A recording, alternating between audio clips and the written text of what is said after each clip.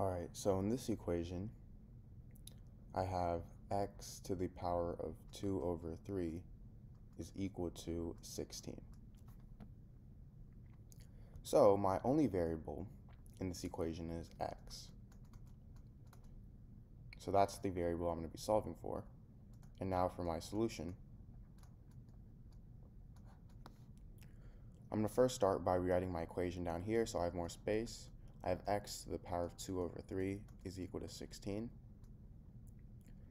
And what I'm first going to do is take the power of 3 over 2 on both sides. So now I have x to the power of 2 over 3 to the power of 3 over 2 is equal to 16 to the power of 3 over 2.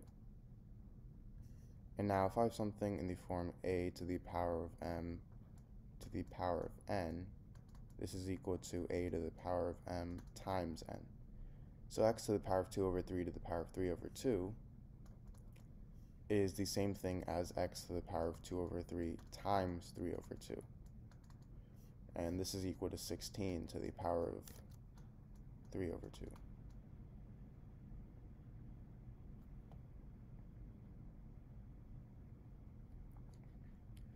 Now, 2 over 3 and 3 over 2, these two are reciprocals, so they simply cancel out, leaving me with x to the power of 1 is equal to 16 to the power of 3 over 2. And x to the power of 1 is the same thing as x, so I get x is equal to 16 to the power of 3 over 2. However, we're not done yet, because we still have to simplify this. 16 to the power of 3 over 2 is the same thing as 4 squared to the power of 3 over 2. And again, if I have something in the form a to the power of m to the power of n, this is equal to a to the power of m times n. So these two cancel out, and I get x is equal to 4 to the power of 3, and 4 to the power of 3 is equal to 64. So I get x is equal to 64. Now, I'm going to check to see if this is right. So my original equation was x to the power of 2 over 3 is equal to 16, and x is 64. So I get 64 to the power of 2 over 3 is equal to 16. Now 64 is the same thing as 4 to the power of 3. So now I get 4 to the power of 3 to the power of 2 over 3 is equal to 16. Then these two cancel out, so I get 4 squared is equal to 16 and 4 squared is 16, so I get 16 is equal to 16.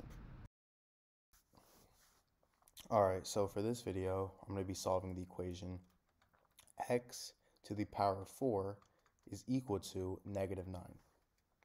So what I'm first going to do is add 9 on both sides. So then these two cancel out, and I get x to the power of 4 plus 9 is equal to 0.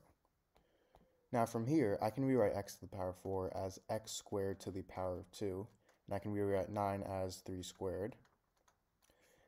And if I have something in the form a plus b squared, this is equal to a squared plus b squared plus 2ab.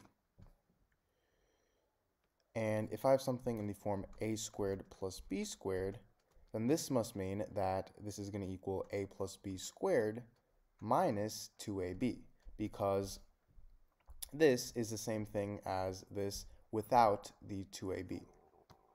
So this means that a is equal to x, x squared and b is 3.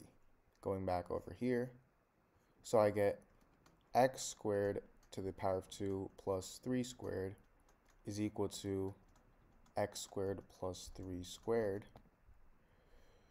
And this turns into x squared to the power of 2 plus 3 squared is equal to x squared plus 3 squared minus 2 times x squared times 3 is equal to 0.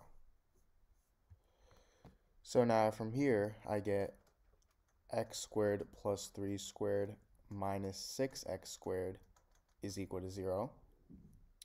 And remember how the square root of 6 squared is equal to 6.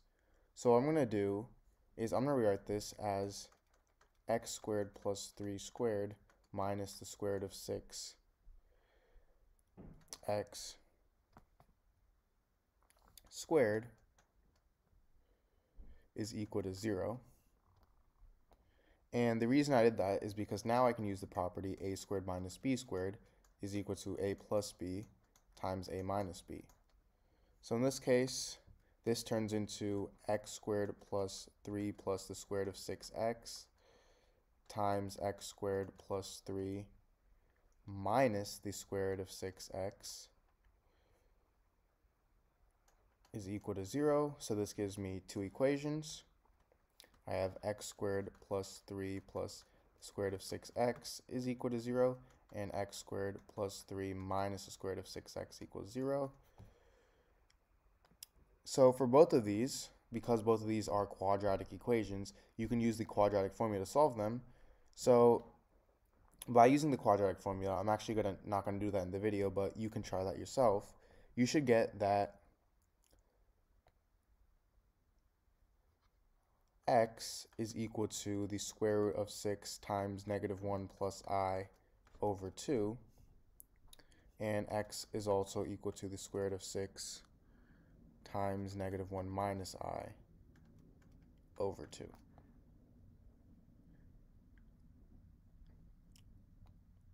And also, along with this, you should get x is equal to the square root of 6 times i plus 1 over 2. And x is equal to square root of 6 times i, or sorry, times 1 minus i over 2. So these are your four solutions.